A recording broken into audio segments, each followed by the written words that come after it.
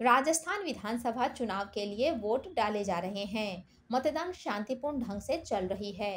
राजस्थान में इस बार चुनाव के लिए कुल छत्तीस हज़ार एक सौ एक मतदान केंद्र बनाए गए हैं। इनमें से छब्बीस हज़ार तीन सौ तिरानवे मतदान केंद्रों पर लाइव वेबकास्टिंग करवाई जाएगी। राजस्थान में भी कांग्रेस की सरकार है और कांग्रेस मुख्यमंत्री अशोक गहलोत के भरोसे चुनाव लड़ रही है।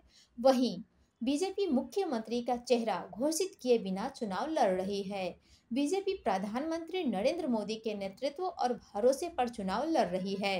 राज्य में कुल 200 विधानसभा सीट हैं, लेकिन करणपुर सीट पर कांग्रेस उम्मीदवार गुरमीत सिंह कुन्नर का निधन हो गया है, जिसके कारण अब एक सौ निन्यानवे सीटों पर ही मतदान होगा।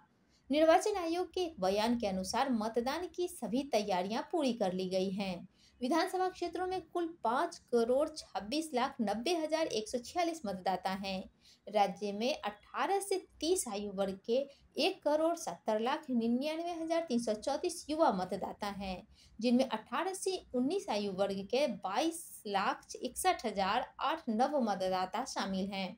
मुख्य निर्वाचन अधिकारी ने बताया कि शांतिपूर्ण मतदान संपन्न कराने के लिए कुल एक लाख दो हज़ार दो सौ नब्बे सुरक्षा कर्मियों की ड्यूटी लगाई गई है।